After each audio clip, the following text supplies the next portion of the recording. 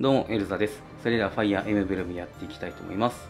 えー、今回は、シングメリセウス攻防戦ということで、えー、同盟領危機から救った一行は、軍を整えると帝国領へ向け南下を始める。帝都、アンバルへのと、えー、アンバルの途上には、メリセウス要塞、難攻不落と言われる要塞に総力を挙げて挑むということで、えー、今回メリセウス要塞ですね。こちらやっていきたいと思います。再びミルディン大橋を越えた王国軍はグロンダーズ平原をさらに南下。しかし帝都アンバルに到達するには堅牢なメリセウス要塞を抜く必要があった。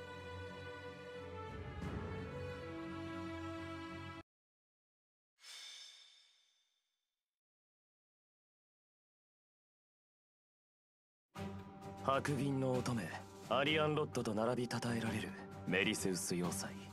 真っ向からの甲状腺は愚策だったかもしれないな。いえ。あの死神騎士がつまらぬ小細工に引っかかるとは思えません。また補給を断ったところでこれほどの要塞ならば数節は持ちこたえるでしょう。工場に時間をかければ各所から増援を呼ばれる可能性も否めませんし。つまりはこれしかないということか。ならば最善を尽くすより他ないな。なあ先生。以前から死神騎士はお前との戦いを楽しんでいるように見えた。何をしてくるかわからない相手だ。十分気をつけてくれ。もちろん。先生あってのルーベン・クラッセならぬ先生あっての王国軍だからな。あの正門が破られました。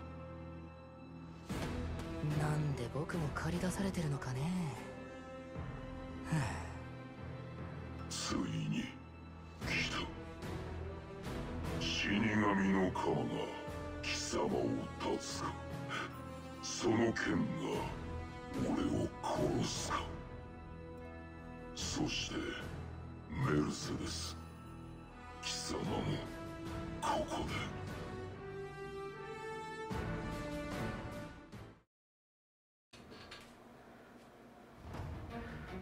さあ、早速準備の方をしていきましょう。えー、身支度だね、まずね。えーと、どうせディミトリは外せないとして、設定も大丈夫だね。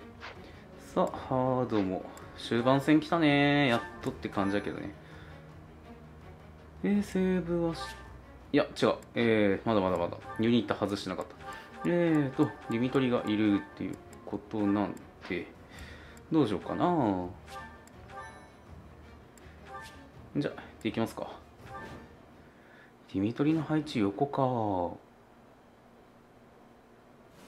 正門が破られたか死神騎士が真下にいると。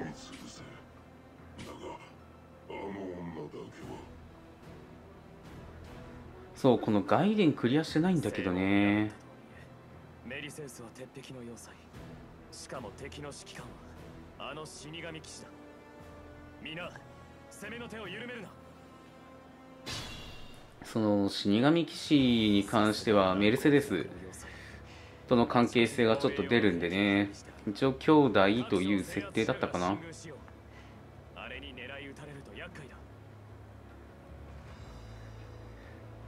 さあ遠距離攻撃がある。とりあえずディミトリが攻撃されないように動かないといけないね。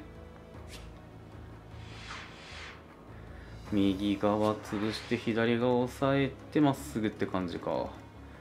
ある程度までいったらちょっと強行突破もありかもしれないね。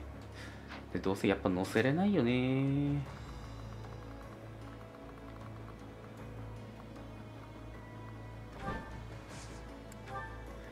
待機させてディミトリを下げる。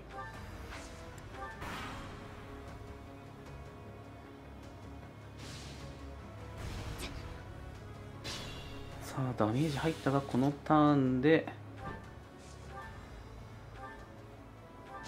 潰せると。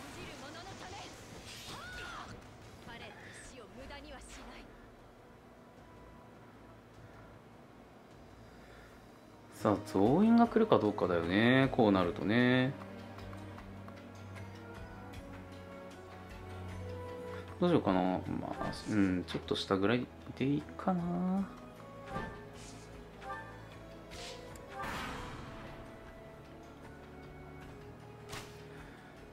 あ、やっぱ攻撃してくるね。遠距離ね。とりあえず攻めてこられると困るのは左側。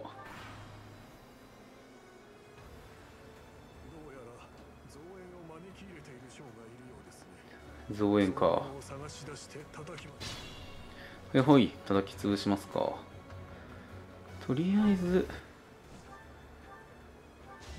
騎馬を倒して一気に攻められないようにしておいて右側攻めてきてないね。あ動き出したね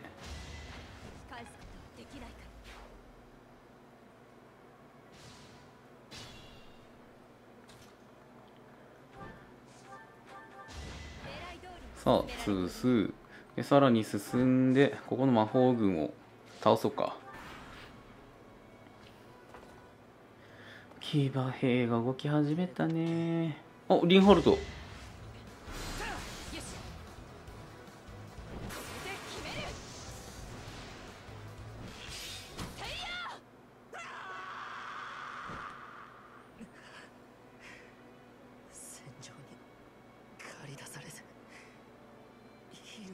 してればいい世の中が来ないかな。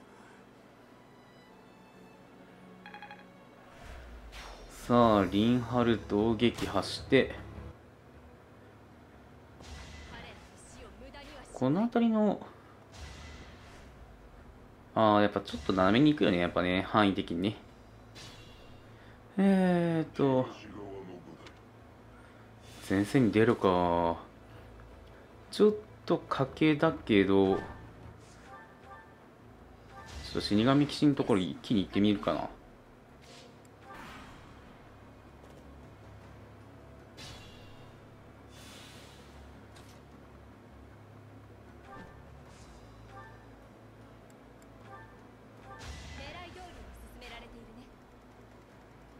で、えーと、ディミトリの、あー、やっぱ若干来てるね。逃げよう。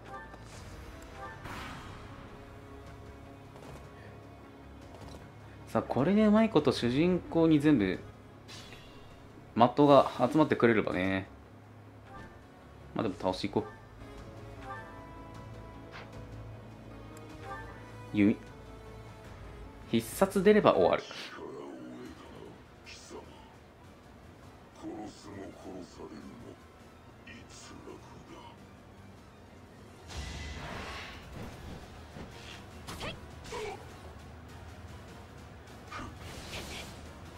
お意外と魔法か。あ避けられた。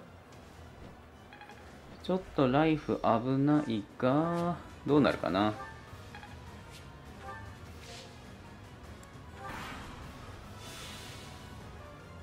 そうだね。そこ回復するよね。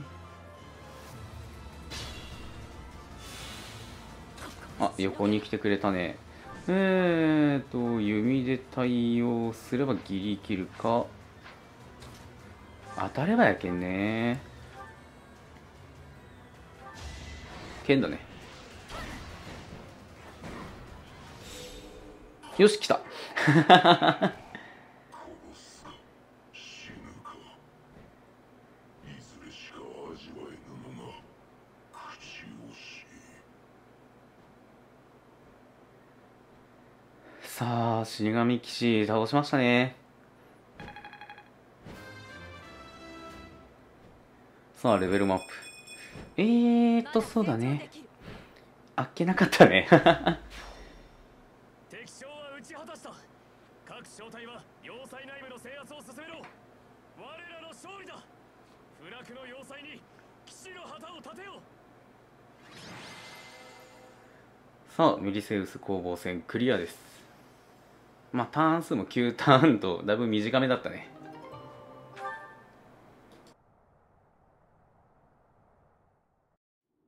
殿下。要塞の制圧が完了しました。そうか。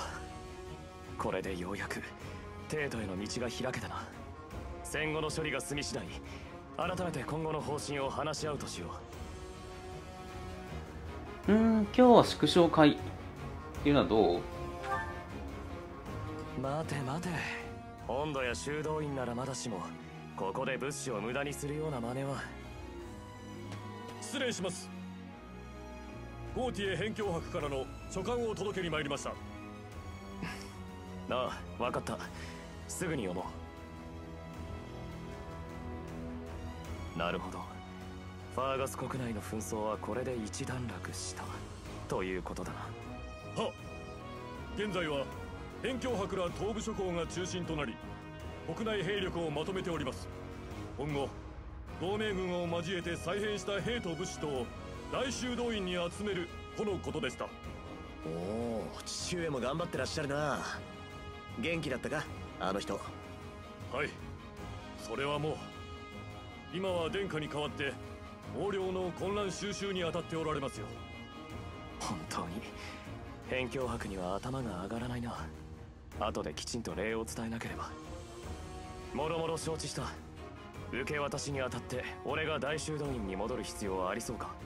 そのそれにつきまして辺境博からことづてがございます。ことづて？先日西部領主クレイマン子爵機下の者を捕獲したのですがそのどうもダスカーの悲劇に関与したと述べているようで。なんだと？兵や物資とともにその者も大修道院へと移送する。とのことでした。辺境博は証言の信憑性はともかくその処遇は殿下が決められるべきだ。と。分かった。そういうことであれば俺も大修道院に戻ろう。先生一緒に来てくれないか。ありがとう。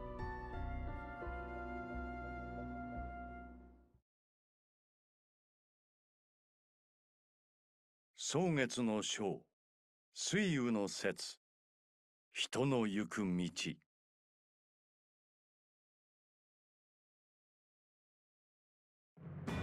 王国軍はメリセウス要塞を制圧。一方でようやく安定した王国西部と旧同盟領より兵力が拠出されガルグ幕にて王国軍が再編される。決戦を挑むに足る兵力を得た王国軍はついに帝都アンバルへと進軍するのだった。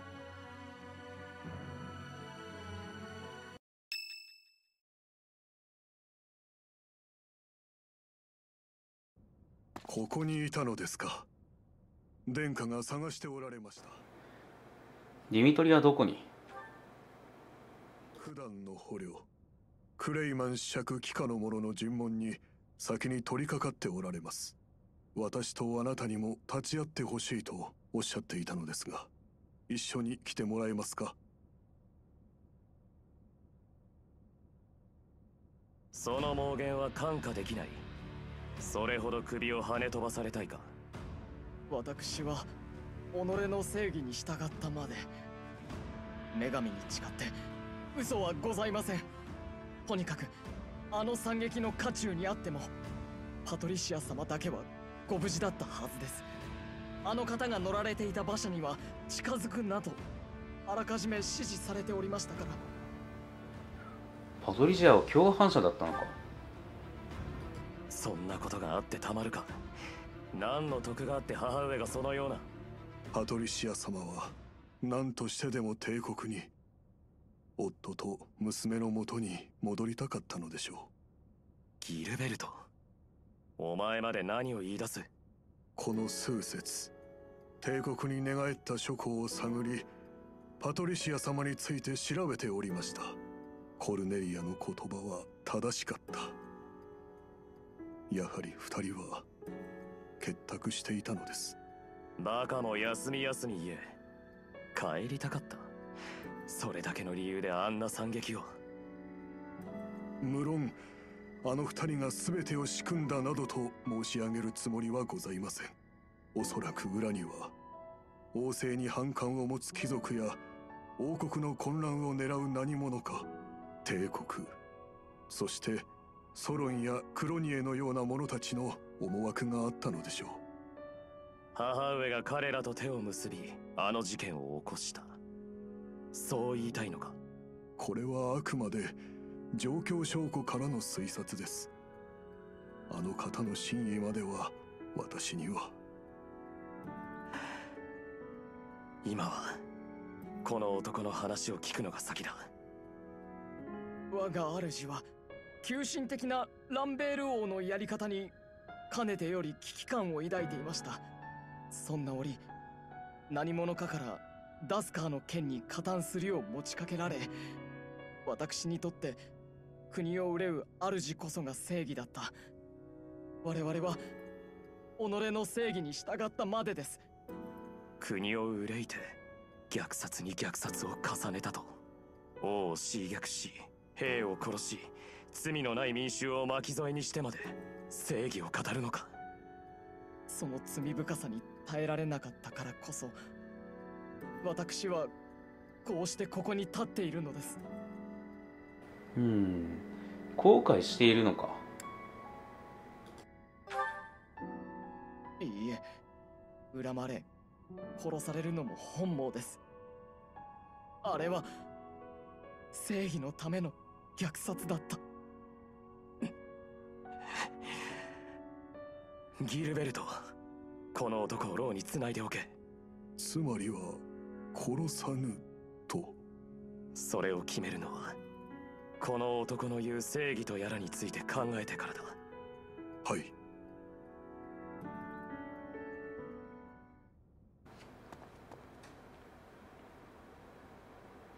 大丈夫？いや大丈夫。ではないなまあ先生は父親のジェラルトとのことをどれだけ覚えているうーん割と。ならばきっとすぐにわかる。いなくなった者の姿を忘れていくことの恐ろしさが。正直もう俺はよく思い出せない。母のいやあの人の笑顔や声を忘れてはならないと思っていたのに。思い出せるのは寂しそうな顔だけだ。母上は父上や俺を偽りの家族を殺してまで帰りたかったのだろうか。血のつながった。本当の家族のところへ。うんわからないね。こればっかしは。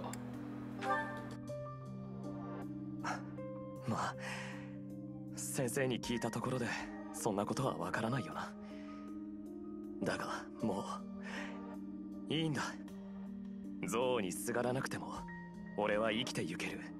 死んでいった者たちを本当に大切に思うなら真摯に償わねばならない。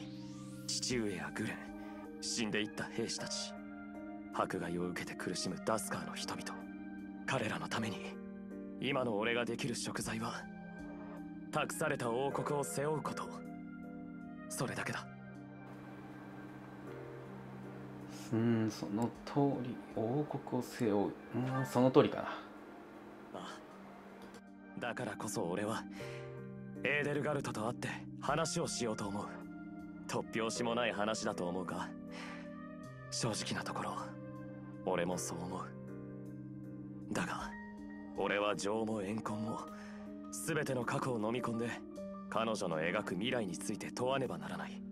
彼女が破行の果てに何を目指しているのかどんな正義を抱いて戦っているのかそしてなぜ戦争などという手段を取らねばならなかったのか。今は一国の王としてそれを問うのが俺に課せられた本当の責務だと思っている。でもどうやって？俺たちはこれからテイとアンバルへと軍を進めることになる。だが交戦する前に一旦テイトから離れたところに陣を構え死者を出そう。互いに安全な場所で武器を持たず兵も連れず話がしたい。そう伝える。その申し出に応じてくれるかどうかはまあエーデルガルト次第だな。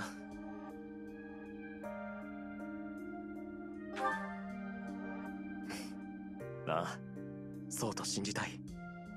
なあ先生。フェルディアで戦った時コルネリアは俺をかわいそうだと嘲笑った。だが母に愛されていなかったとしても俺は自分を哀れだとは思わない。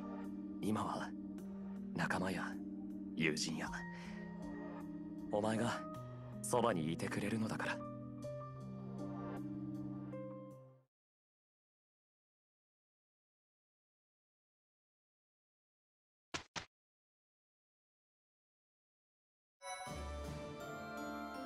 ということで、えー、クリアですね。で、8月、ついにオート戦、テートか、テート戦に行くわけですが、いやー、そろそろ終わりかな。うん、なんかそんな感じがするね。もう終盤に向けてって感じだし、まあ、ちょっと次も頑張ってやっていきたいなと思います。それではここまでご視聴ありがとうございました。よければチャンネル登録、高評価よろしくお願いいたします。それではまた次回お会いしましょう。ほんじゃ、またな。